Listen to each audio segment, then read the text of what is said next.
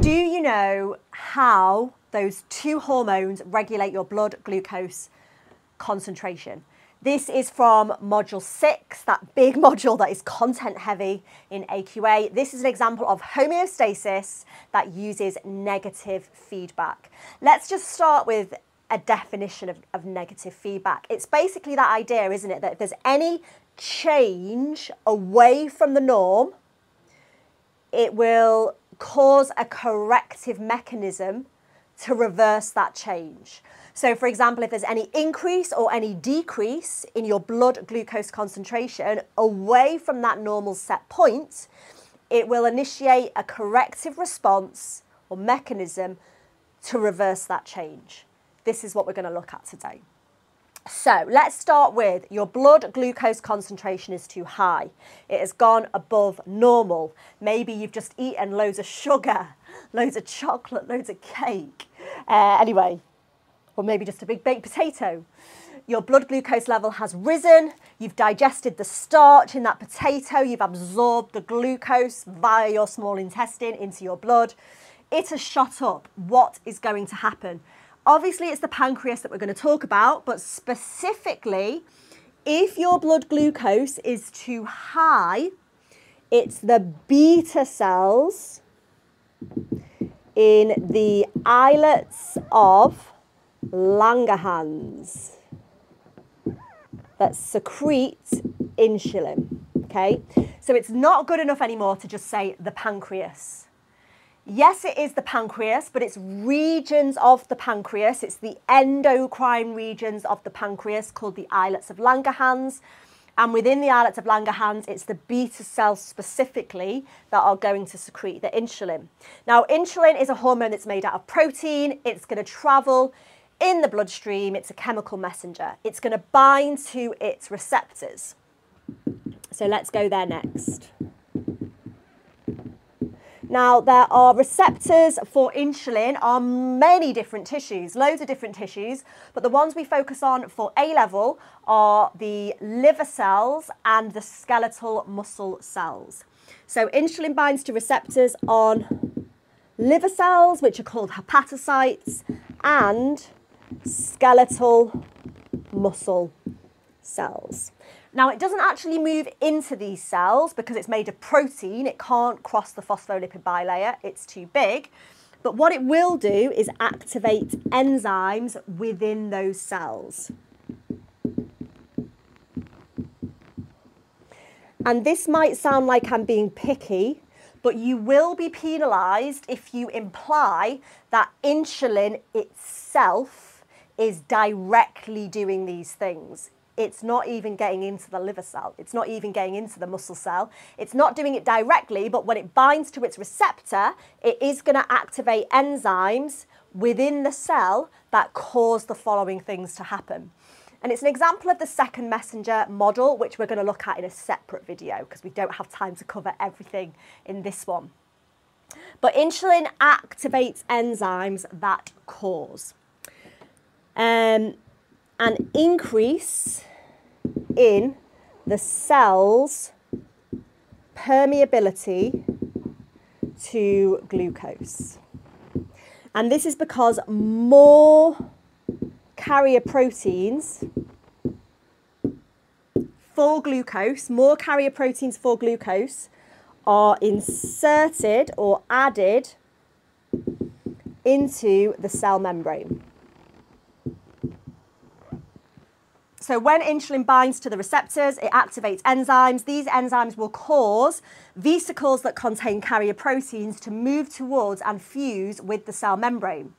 You don't have to know it in that much detail, but you should know you're going to get an increase in carrier proteins, and that's going to increase the cell's permeability to glucose.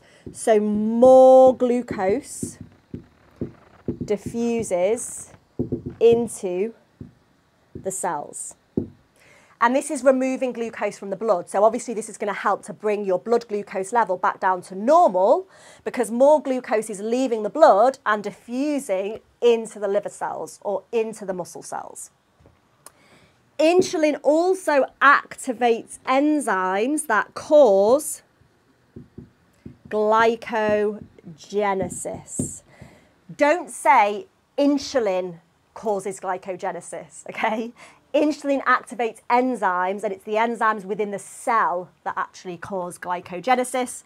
But glycogenesis, as the name suggests, is making glycogen from glucose. Makes sense, doesn't it? Look, glycogen, genesis. So glucose is going to be joined together with many glycosidic bonds and it's going to be stored as glycogen in the liver cells, in the skeletal muscle cells, because glycogen is large, it's insoluble, it's highly branched, it's perfect for storage, and ultimately we're getting the glucose out of the blood and storing it away in the liver cells and muscle cells, so the blood glucose level will return back to normal.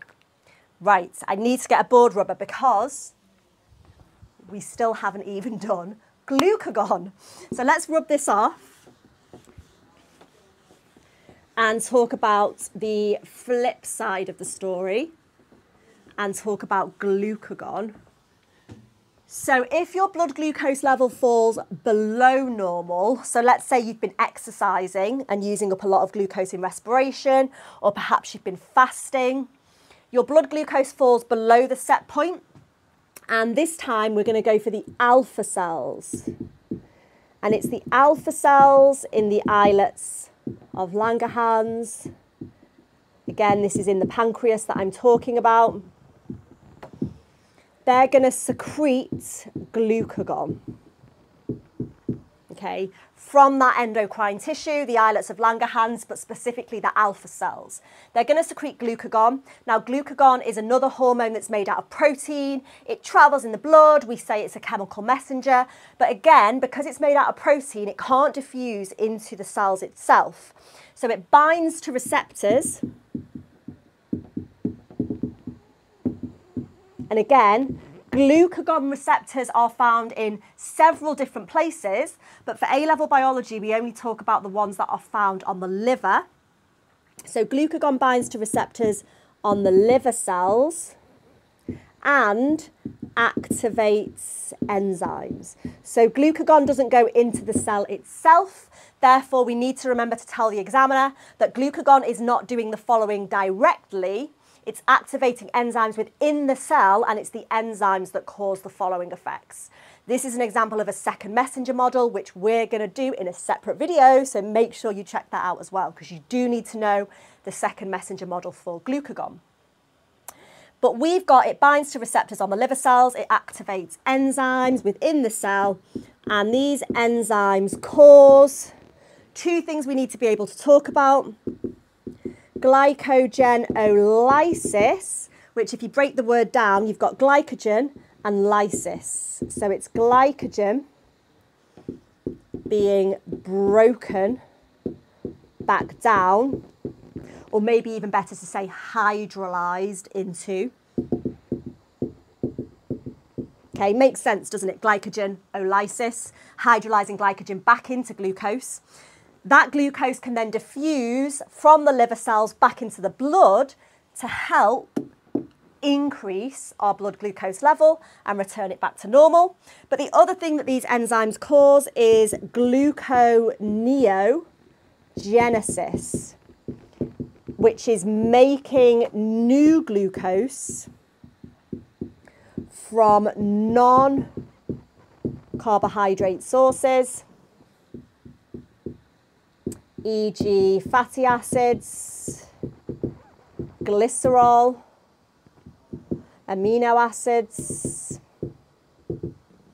Okay, and the word makes sense. You've got gluco, which stands for glucose, neo, which stands for new, and genesis, which means making. So making new glucose from non-carbohydrate sources. You can give examples such as amino acids and fatty acids. That glucose then obviously diffuses back into your bloodstream, brings your blood sugar back up, returns it back to normal. So you're reversing the change and bringing it back up to normal.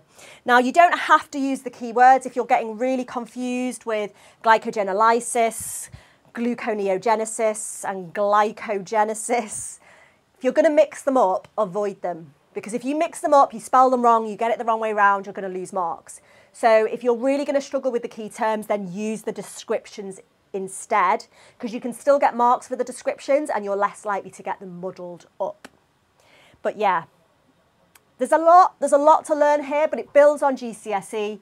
You can learn it kind of as two independent stories, your insulin story, your glucagon story, and then when you're confident with them individually as chunks, you can kind of stick it all together and see how the full picture works for blood glucose regulation.